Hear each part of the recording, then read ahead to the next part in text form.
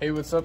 Uh, what's up, guys? Today I'm going to show you how to uh, fix some busted wire connectors. Uh, basically, what we're working with here is some busted wire connectors. I had a customer come in and I needed to rewire everything. It's all rewired. Could have used the professional tubing, but you know, it's a budget job. It's not worth it. Just make it look good, make it work right. Okay, so things you need to know when you take these apart. It's good to stagger these, even if it's just a little bit. So what I mean is, don't snip side by side like this. You want to stagger them by cutting here and then cutting there.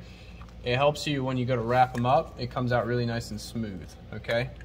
Second thing, if you get finished and something isn't right, right, you're supposed to watch the whole time. If you get finished and something is not right, uh, I'm gonna show you real quick how to rewire these things and how to check yourself. First thing you're gonna do is you're gonna come back, especially if you've already taped them up, you're gonna unwrap them, all right? You're gonna unwrap it, all right? And then what you're gonna do, once it's unwrapped, is you're gonna look and see, you're gonna follow the wires back. I like to separate them out a little bit. First thing I do is I grab one wire, and it's like, okay, so there's one, and this is the furthest to the left, all right? If it's clipped in, it's furthest to the left, I always start there. All right, and you can see it's a brown wire, cool. All right, then you go to your next one. Okay, this is the second wire from the left. This one has white with a tiny blue stripe. Make sure you pay attention to your wires before you cut them. Some may be the same. If they are, you need to mark one of them with like a, a, a Sharpie or something or put a piece of tape on it. Third wire, right here. Third wire is white with a black stripe. And then the fourth wire is white. All right. Now what did we say? We went brown, white with blue, white. Uh-oh, our third is white with black stripe. This one is white, and then our fourth is white with black stripe, and this one's white. So that means it's backwards. So what we're gonna do here, I'm gonna show you how to take these apart without breaking them, hopefully. I like to use these picks, they're cheap. Um, they do have tools made for this, but this is basically all you do. You stick the pick underneath the connector, okay?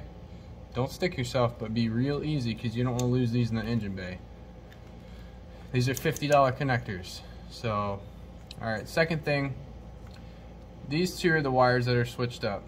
So inside, if you look really close, there's a uh, little clip in there. I mean, super close. Let's get in here.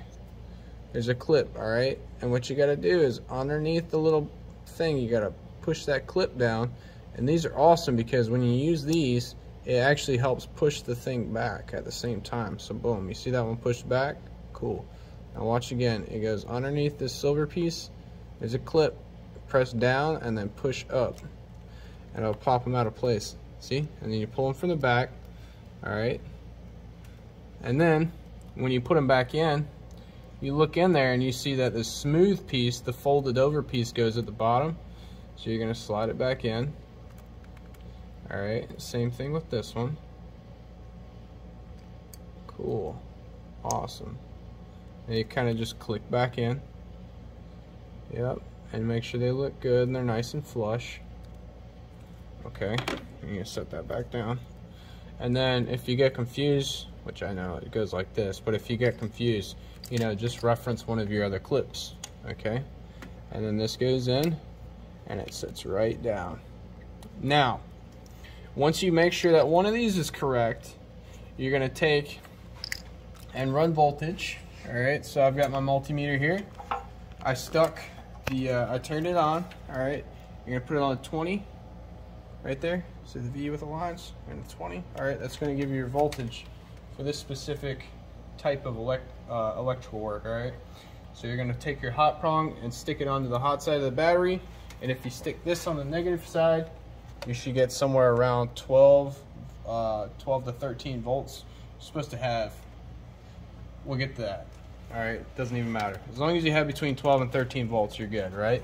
All right, once you do that, then what you're gonna do is you're gonna come over here and touch each one of these. If they're grounded, okay, that's the first step. We're good. That means everything is connected. Now check this out. I'm gonna go and turn the car on. Not all the way, I'm not gonna crank it, but I'm gonna turn the key forward.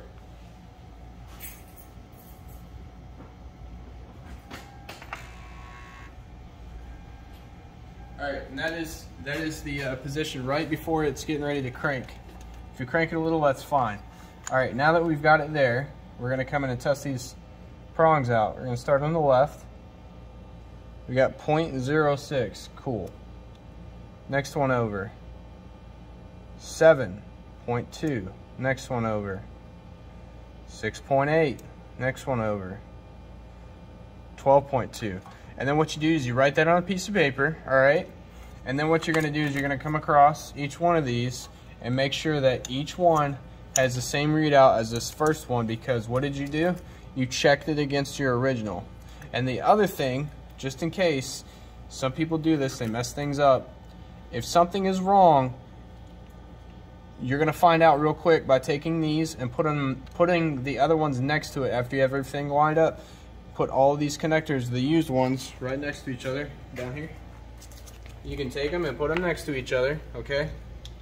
And that will show you if you have something wrong with the wiring, you'll see it down here. Like I said, once you do that, just check each of your uh, check each of your wires at the prong for voltage. You don't need the coils. You can check them by just turning the ignition forward and leaving it there. All right, and don't forget, you'll kill your battery if you're not fast, so hurry the hell up.